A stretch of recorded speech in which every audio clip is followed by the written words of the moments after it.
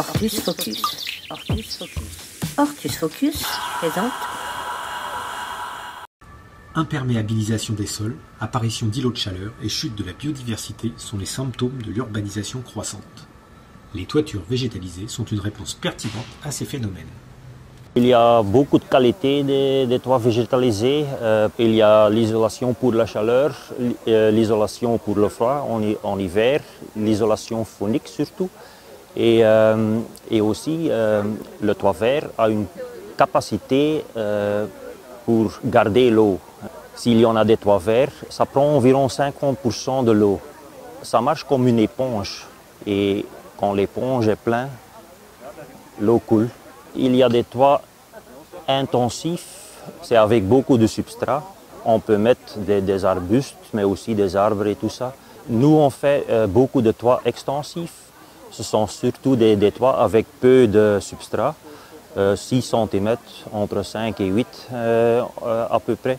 Donc, euh, ce qu'on a le plus, euh, le ce sont des sédums. C'est pour les toits en plein soleil ou, de, ou mi-ombre. Mais s'il y a des toits en plein, en plein ombre, euh, ce qu'on utilise là, ce sont des, jeunes plantes comme le saxifrage euh, ou les petits fougères. Donc la première couche sur le toit, c'est le euh, plastique anti-racine et euh, la deuxième couche, en fait, c'est un tapis de drainage. Le substrat qu'on utilise sur le toit, c'est euh, environ 90% de lave. On produit des tapis pré-cultivés avec des sédums et on le déroule sur le toit. On a aussi le système des cassettes. Ce sont des bacs pré-cultivés avec le substrat là-dedans. C'est un système euh, qui marche facilement euh, pour les gens qui, qui veulent faire euh, le toit eux-mêmes. Et on fait aussi des sédums en minimote.